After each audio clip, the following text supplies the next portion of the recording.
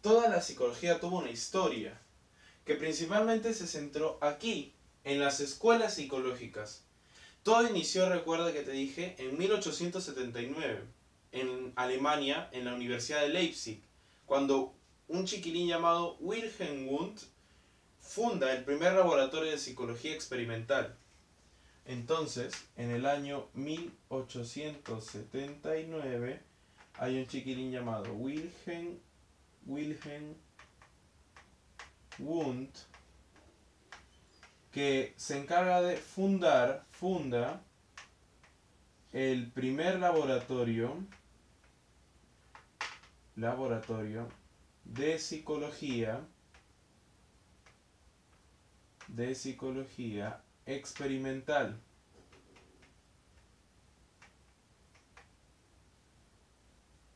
Bien, entonces ese es el aporte de Wundt. Wundt en un comienzo eh, este estructuralismo buscaba estudiar la estructura de la conciencia. Estructura de la conciencia. Bien, buscaba estudiar la estructura de la conciencia.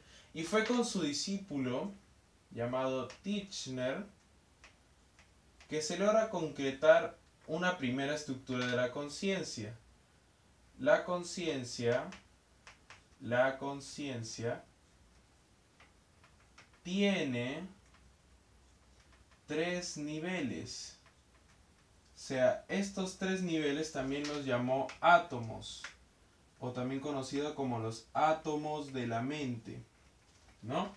Entonces, los primeros los llamó imágenes, luego a los otros los llamó sensaciones, y por último, sentimientos.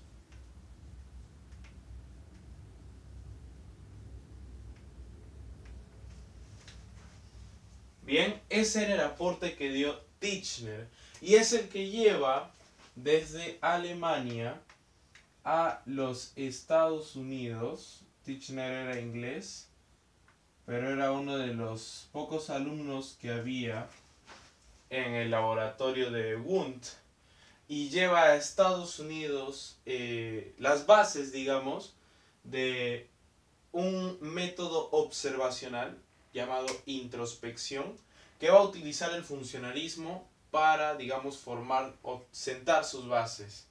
Bien, luego, en 1892, en 1892 hay un chiquilín llamado Sigmund, Sigmund, Sigmund Freud o Freud, que más que nada, digamos, él pone las bases del psicoanálisis con el estudio, estudio topográfico de la personalidad. O sea, él divide a la personalidad en el ello, o también llamado it, el yo, o también llamado ego, y el super yo, o también llamado superego. Entonces, la idea en síntesis es que el id, el ello, son impulsos inconscientes.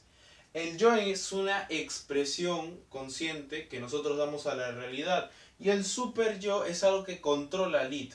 Por ejemplo, imagínate que hace demasiado calor y tú llegas a tu centro de trabajo, a tu centro de estudios con bastante calor. Entonces, tu inconsciente, tus impulsos te dirían que te quites la ropa para estar desnudo y así estarías más fresco. ¿No? Pero ¿quién evita que te quites la ropa en un lugar público? El superior, porque es la parte de las normas que te dice, no, eso no sería prudente. ¿Bien? Entonces entra en conflicto el superior con el ello.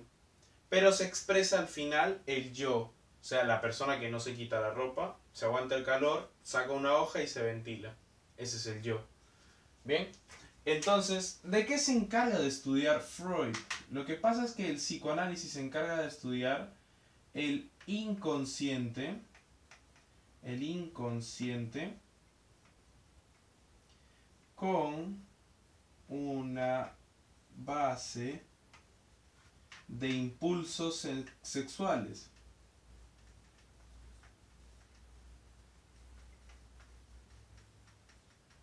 Bien.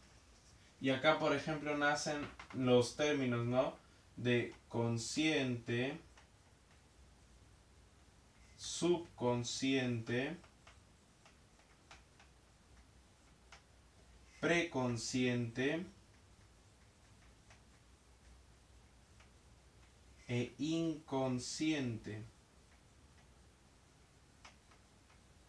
Bien, son los términos que nacen ahí con el psicoanálisis. Luego aparece el funcionalismo ya en 1896 con dos personajes. El primero llamado William James, William James, y el segundo personaje llamado John Dewey. Entonces, su trabajo más importante de John Dewey es algo llamado el arco reflejo. El arco reflejo. Hay mucho que decir sobre el funcionalismo. Por ejemplo, que también es conocido como el darwinismo psicológico. ¿Por qué? Porque ellos se encargaban, como lo dice el nombre, funcionalismo, de estudiar la función de la conciencia entonces, para ellos la función de la conciencia era la supervivencia de la persona. Por eso le van a llamar darwinismo psicológico. Porque van a buscar la supervivencia del más apto psicológicamente, según el funcionalismo. Estudia entonces la función, función de la conciencia. Entonces, estudia la función de la conciencia. Es conocida como darwinismo psicológico. Es una de las primeras en utilizar test, mentales. Utilizar los test. Bien.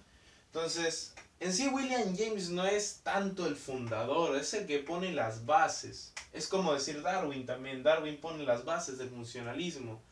Eh, Stanley Halley es quien funda en sí el, funcionalismo, ¿no? Junto con, o sea, leyendo los trabajos de Freud eh, y utilizando el método introspectivo del estructuralismo, forman el funcionalismo, siendo esta la primera escuela de los Estados Unidos. Bien, esta escuela es de los Estados Unidos, neto, neto. O sea, es la primera escuela psicológica americana. Bien, en América. Luego viene la reflexología, ya vamos a Rusia, ¿no? Por allá en los años 1902. Y luego de esto se forma otra escuela llamada conductismo en 1913. La reflexología tiene como representante a Iván Pavlov, que es también uno de los iniciadores de algo llamado condicionamiento clásico, junto con uno de sus discípulos, llamado, bueno, uno de los que estudió Pavlov, que es este Watson. Watson. Bien. Entonces, estos dos personajes son representantes de cada una de las escuelas, que son reflexología y conductismo. Solo que la reflexología Mira, Pavlov, ¿recuerdas que te mencioné el dualismo cartesiano? ¿No? Que Descartes separaba la psique humana de las bases biológicas. Ese es el dualismo cartesiano. Quien rompe el dualismo cartesiano, o sea, quien se opone al dualismo cartesiano es Pavlov. Porque él relaciona, él dice, no, el sistema nervioso sí está relacionado a los procesos psíquicos. Entonces, Pavlov estudia, él estudia la actividad refleja, por eso se llama reflexología, los reflejos, basándose, basándose en el sistema nervioso. Bien, eso es lo que hace Pavlov. ¿Ok? Por eso es que rompe con este dualismo cartesiano. Y Watson inicia con algo llamado condicionamiento clásico, pero ya digamos más fuerte, ¿no? Condicionamiento clásico. Entonces, para él, como te mencioné hace un rato, el aprendizaje era un producto de la relación de un estímulo y una respuesta únicamente se dedicó a estudiar, estudio, estudiar la conducta. La conducta. De ahí sus experimentos más famosos como lo serían Albert y la rata y de Pavlov, el perro y la campana. Pero justo por ahí antes de que salga en conductismo, apareció una escuela llamada Escuela de la Buena Forma, o también llamada Escuela de la Gestalt, la cual nace en 1912. Aquí se dan, por ejemplo, los primeros estudios del fenómeno phi. Fenómeno phi o fenómeno pi. Bien, que más que nada se centra en el movimiento aparente, en nuestra percepción de movimiento. Porque en sí esta escuela se encarga de estudiar, estudia la percepción. O sea, se centra en un proceso, en un proceso cognitivo que sería la percepción. Bien, el máximo representante de esta escuela se llama Max Wertheimer.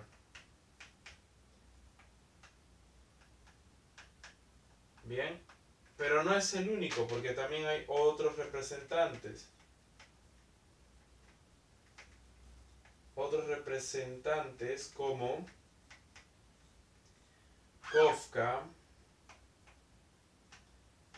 Kohler, y por ejemplo, él crea los llamados principios de la percepción.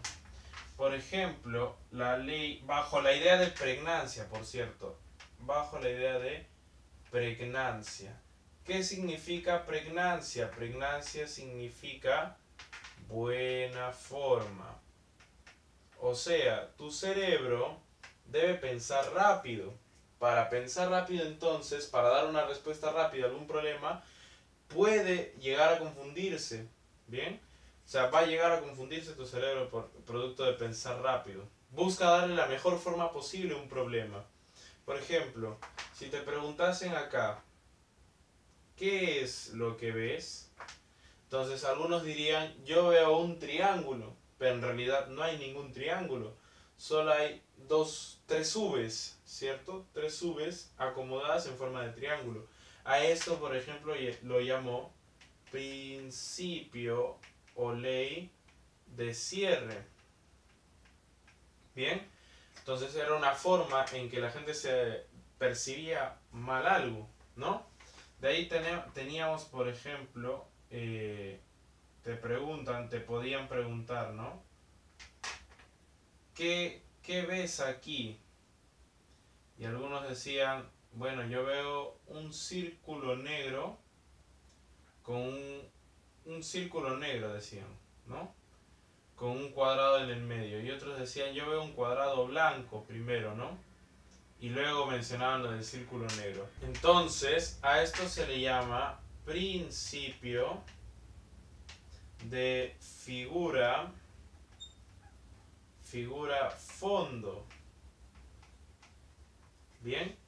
Otro que tendríamos vendría siendo la ley de proximidad. que en la cual nos dice ley de principio de proximidad que nos dice que tendemos a agrupar agrupar los términos